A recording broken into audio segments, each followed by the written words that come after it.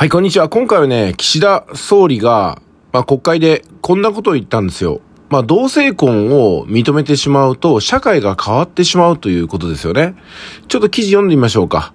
岸田文雄首相は、1日の衆院予算委員で、同性婚の法制化に関し、極めて慎重に検討すべき課題だと述べ、否定的な考えを改めて示した。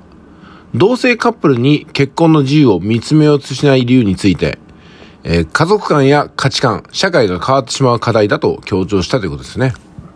あの、社会って変わり続けるもんなんじゃないですかね。社会って100年前と同じですかね ?1000 年前と同じですかね ?1 万年前と同じですかねまた、同性婚を認めるだけで、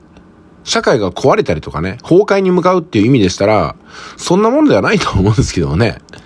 じゃあね、1億人いる、そのカップルのうち、同性婚が1億組生まれますかってことですよね。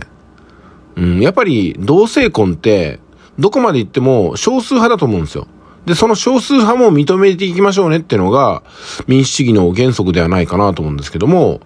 同性婚はダメだとかね、社会を壊すみたいな意味で捉えて社会が変わってしまうとかね、家族や価値観が変わってしまうって言ったって何言ってるんですか。別にね、同性カップルじゃなくても今までだって十分家族観変わり続けて、価値観変わり続けて、社会は変わってしまうじゃないかと。何が極めて慎重に検討すべき課題だと。い や、こんな慎重に検討しなくても、わかるでしょうと思うんですけどね。そりゃいいじゃないですか。別に同性婚だっていいですよっていう風にしとけばね。いや、申し込む人数が1日にね、5000組とか来るんだったら、うわ、これは処理が大変だっていう意味で、ちょっとね、セーブするそういった事務上の手続きの煩雑さによって何かがあるっていうのはわかりますけども、岸田総理一人の感情でね、何ですかこれ？いや、こういう時に女性活動家の方怒らないんですかね？まあ女性活動家の方は怒らなくてもいいですけども、奥さんはどう思ってるんですかねいつも？奥さんは。しょうもない男だなと思いませんかこの人？